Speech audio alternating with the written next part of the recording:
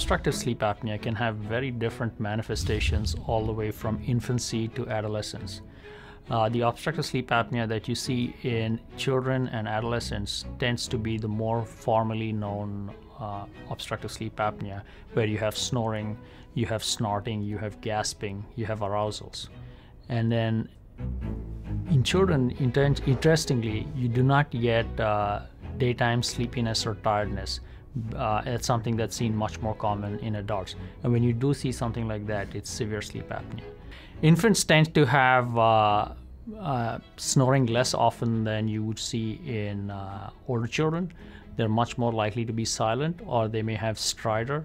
And what you need to look for is uh, thoracoabdominal movement that's asynchronous in association with uh, reduced airflow and oxygen desaturation. So you sometimes have to really carefully look for it before you realize that there is obstructive sleep apnea. Obstructive sleep apnea in children is diagnosed by polysomnography, where we monitor the uh, child's appearance by video. We look at their brain waves to see if they're awake or asleep.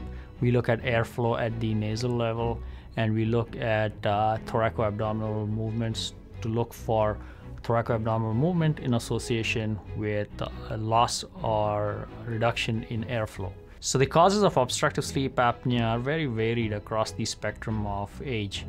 Uh, the most common uh, causes of obstructive sleep apnea are in young children, you know, two to eight years of age, and that tends to be enlargement of the tonsils and adenoids.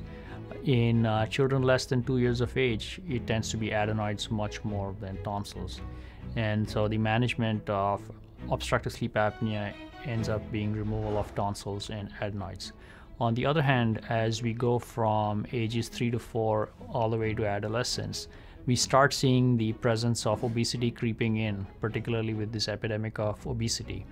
When you go to the youngest age group, it tends to be less commonly seen uh, syndromes and illnesses, such as Pierre Robin syndrome with a small jaw, laryngomalacia with relaxation of the uh, laryngeal uh, cartilage, or it could be something like choanal And then uh, a combination of all these is seen in Down syndrome, where you have reduced anatomy and a reduced tone that you see through the lifetime of children with Down syndrome. Management of obstructive sleep apnea can have a significant impact on the quality of life and uh, academic performance. Uh, it is important since it's such a fairly uh, widespread uh, condition to screen for these at well child visits and ask the family if the child is snoring or has disturbed sleep. It is also important to know that as they get older, continuous positive airway pressure or CPAP becomes the predominant modality of management of obstructive sleep apnea, particularly the sleep apnea that is residual after removal of tonsils and adenoids.